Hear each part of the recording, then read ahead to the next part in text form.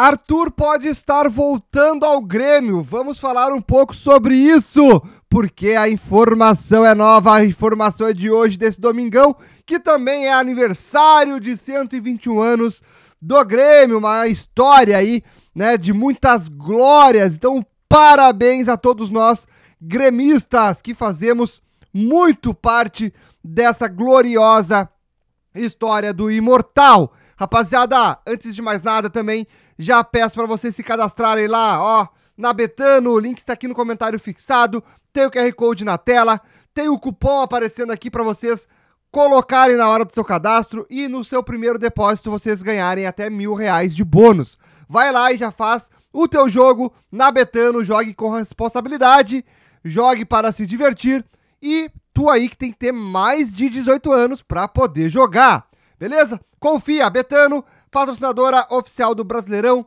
Copa do Brasil e muitas outras competições. Vai na Betano, vai na melhor, vai na maior, confia! Beleza? Rapaziada, vamos lá.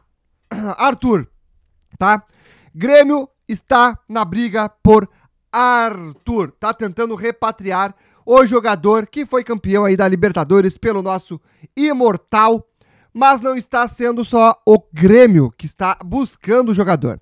O Arthur aí, que após um período produtivo aí por empréstimo para o Fiorentina, retornou para a Juventus, mas está enfrentando um cenário aí de indefinições. Então, uh, ele foi inscrito para a Liga dos Campeões, não encontrou espaço nas primeiras quatro rodadas do Campeonato Italiano, onde não foi utilizado em nenhuma partida, então ele no, na Juventus não está sendo utilizado. Então, durante o verão europeu, houve tentativas aí de estabelecer um novo empréstimo para o Arthur. E esses esforços não se concretizaram. E aí, por isso, diante dessa situação, o Grêmio manifestou sim interesse de ter aí o Arthur para o seu time. Uh, inclusive, esse interesse surgiu em julho, propondo um empréstimo onde o Grêmio contaria com o atleta enquanto a, a, a Juventus, né, continuaria responsável por uma grande parte do salário. O Grêmio teria o Arthur e a Juventus pagaria, então, a maior parte do seu salário. O que isso não aconteceu naquele momento. O Arthur foi peça-chave, né? não preciso nem falar para vocês do que ele fez pelo Grêmio em 2017.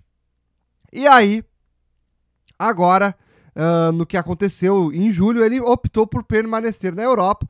Queria ver ainda se ia conseguir se firmar por lá, principalmente na Juventus. De repente, se ele ia conseguir uma titularidade, um, um banquinho de reserva ali, mas que ele fosse utilizado em mais jogos, o que não está sendo aí o que está acontecendo.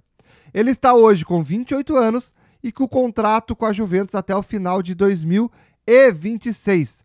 E tem um salário mensal de 500 mil euros. O volante então preferiu aguardar novas oportunidades na equipe da Juventus, que não está acontecendo. Então o Grêmio está querendo o Arthur para 2025.